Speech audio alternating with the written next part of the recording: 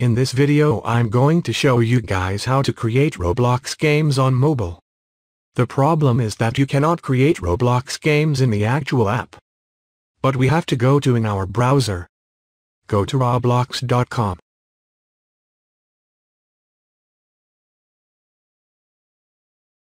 Click continue in the browser. You want to make sure you are logged into your account. I'm going to do right now. Once you're logged into your account you want to click on create.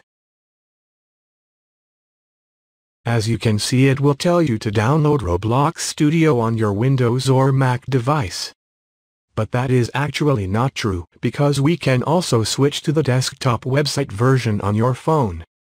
Now to do that you have to click on three dots the top right corner. And then click on desktop site.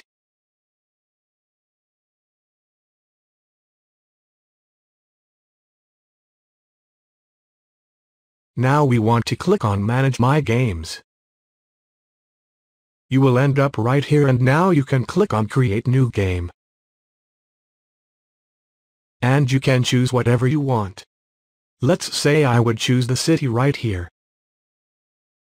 Then click on Create Game right there.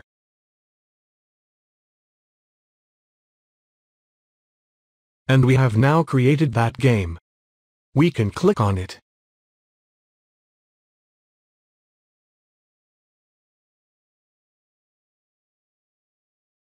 You can also give it a name. Change the publicity to private or public.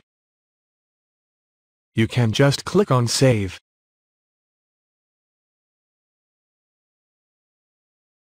Once you've done all that you can click on your name and place number right there. And if you click on Play, this would normally open up your mobile app. And then you can play it.